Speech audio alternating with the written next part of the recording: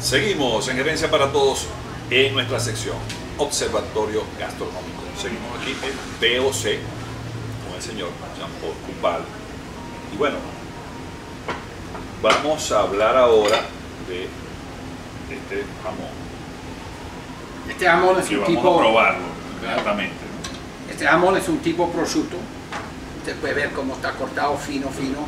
Tiene un color rosado, casi sin grasa, porque la grasa fue parte de, de curarlo. Es un cochino feliz, que está en Macapo, en Valencia, que come naranjas, aguacate, mangos, pasto, maíz, arroz, y no come absolutamente nada que está hecho por el hombre.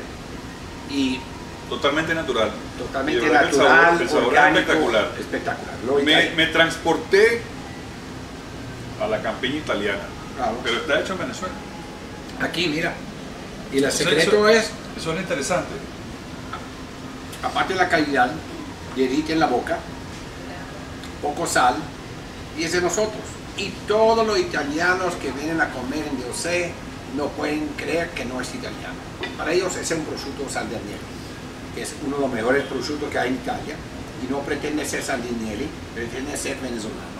Y ese es nuestro jamón de un cochino feliz, que está libre, y ese es importante. No es un cochino de jaula que come proteínal. Ese es un cochino feliz. Y nos hace feliz. De verdad que me encanta este jamón.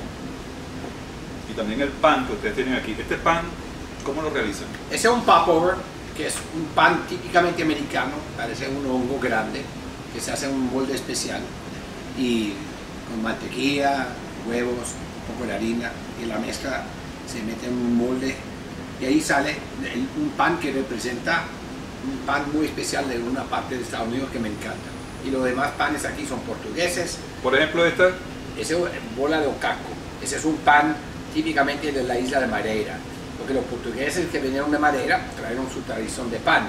Los que vinieron de tierra firme, tierra firme de Portugal, y hacen el pan grande campesino, que si me trae uno por favor, un pan con una crostadura que se hace en un horno de 60 años en la Candelaria, curado, y yo trae la levadura madre de Portugal, porque necesitamos una madura, una, una levadura de alta calidad, y hoy día, mira el pan, ese es pan, levántalo.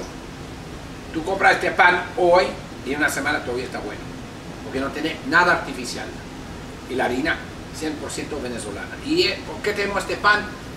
Porque le pagamos el precio justo al panadero. Se le paga 500 bolívares para el pan y más nada. ¿Y eso qué significa precio justo? El precio justo no es el precio que el consumidor tiene que comprar. No, y también es el- que el precio justo es el artesano que tiene que levantarse a las 3 de la mañana porque puso la- la- el pan a fermentar la noche anterior y a las 3 de la mañana lo tiene que meter en el horno. Eso se llama calidad. Y cuando tú tienes calidad y consistencia, se tiene que pagar para eso. mira, y es el precio justo y el sabor justo también. Claro. Ya regresamos. Observatorio Gastronómico. Aquí en Gerencia para Todos.